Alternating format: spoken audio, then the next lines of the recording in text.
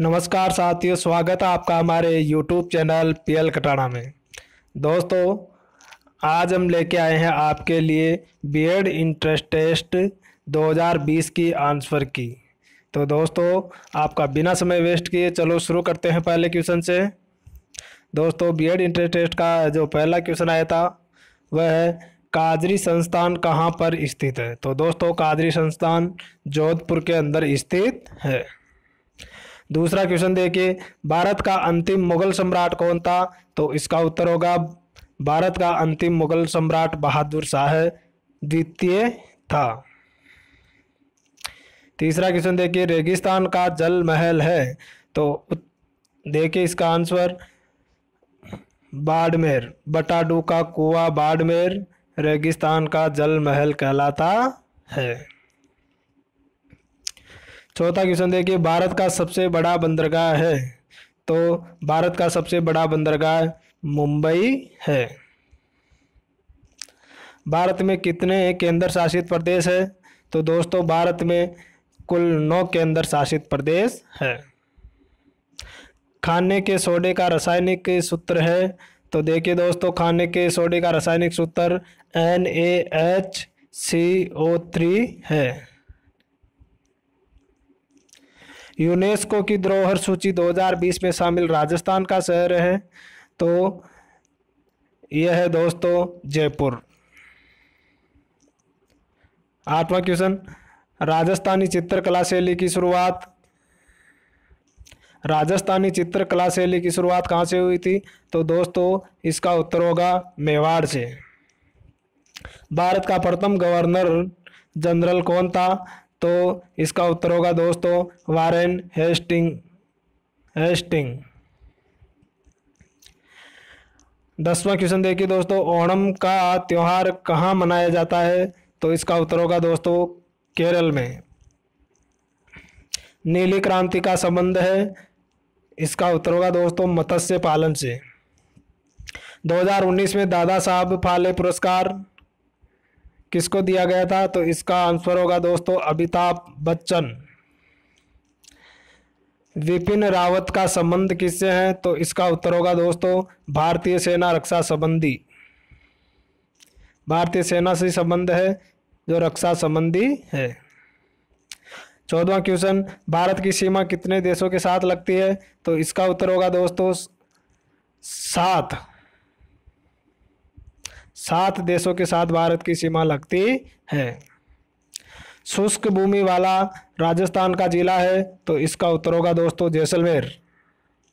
राजस्थान स्थापना दिवस कब मनाया जाता है तो इसका उत्तर होगा दोस्तों तीस मार्च। को राजस्थान स्थापना दिवस मनाया जाता है। और उन्नीस सौ बयालीस में इसकी स्थापना की गई थी। सेल्यूकस ने अपने राजदूत के रूप में चंद्रगुप्त मौर्य के दरबार में भेजा। किसको भेजा था? मेगस्तनीज को। अभिनव बिंद्रा का संबंध कौन से खेल से है? तो इसका उत्तर होगा दोस्तों, निशानेबाजी से। भारत का सबसे स्वच्छ शहर 2020 में कौन सा है? तो यह है, इसका आंसर है, इंदौर। भारत का सबसे अधिक प्रदूषित शहर 2020 में तो इसका उत्तर है दोस्तों पटना।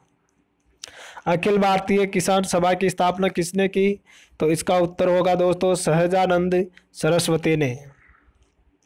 समुद्र की गहराई मापी जाती है, उत्तर फेदोमीटर से। भारत में चंदन प्रमुख उत्पादक राज्य कौन सा है? तो दोस्तों इसका करेक्ट ट्रांसफ़र होगा तमिलनाडु।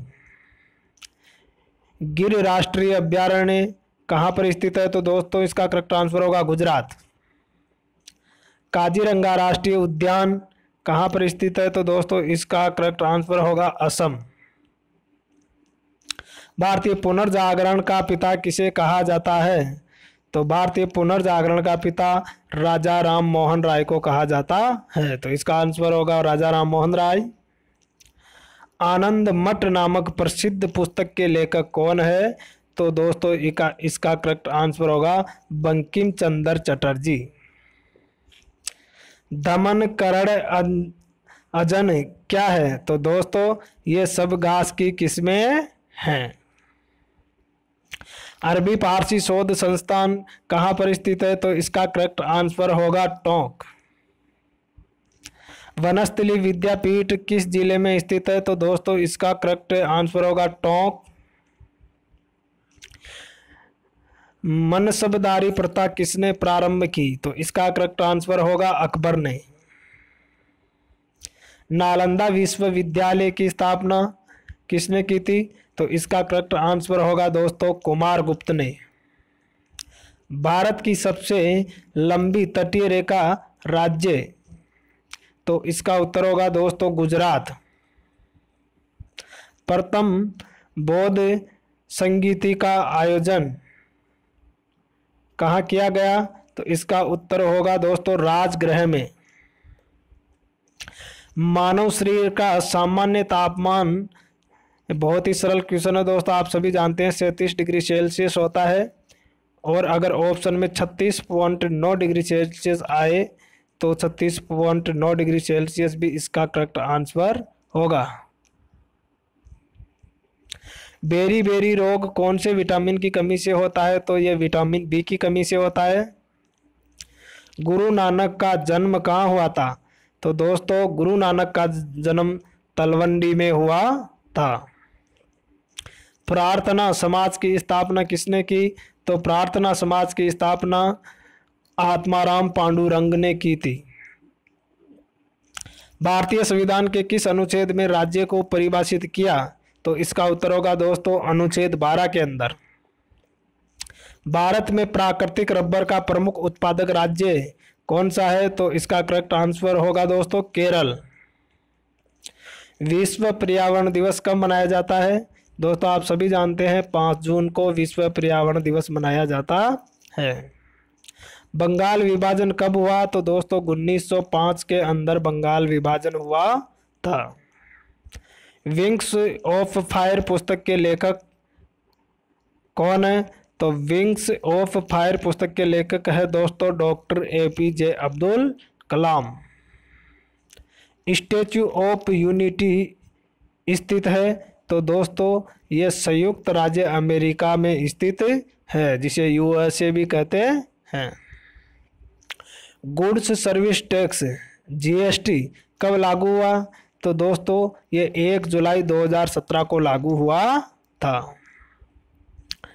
सिमलीपाल राष्ट्रीय पार्क कौन से राज्य में है? तो इसका करेक्ट आंसर होगा दोस्तों, उड़ीसा राज्य में है। इड्डू की विद्युत परियोजना किस राज्य में स्थित है? तो दोस्तों, इसका करेक्ट आंसर होगा, केरल राज्य में स्थित है। भारत का अंतिम वायसराय कौन था? तो उत्तर होगा इसका दोस्तों, लॉर्ड कैनिंग। स्वतंत्र भारत का प्रथम गवर्नर कौन था? तो उत्तर होगा दोस्तों, इसका लॉर्ड माउंट बेटन बेटन। और स्वतंत्र भारत का प्रथम भारतीय गवर्नर तो इसका करेक्ट आंसर होगा दोस्तों, राजगोपालचारी। दोस्तों, अगर आपको हमारा ये वीडियो पसंद आया हो तो इस वीडियो को लाइक करें, शेयर करें और हमारे चैनल को सब्सक्राइब करें तथा बेल आइकन के नोटिफिकेशन को दबा करके ऑन करें, जिससे आगामी टाइम में शिक्षा से जुड़े कोई भी वीडियो आप तक सबसे पहले पहुँच सके। धन्यवाद।